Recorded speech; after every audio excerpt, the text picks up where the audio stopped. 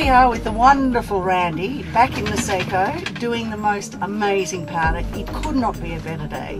We're just about to go up to do the first epic run, and it's deep.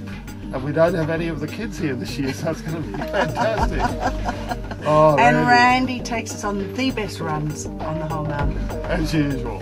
And then tonight it's dinner, and every day is the same. It's fantastic. Cut!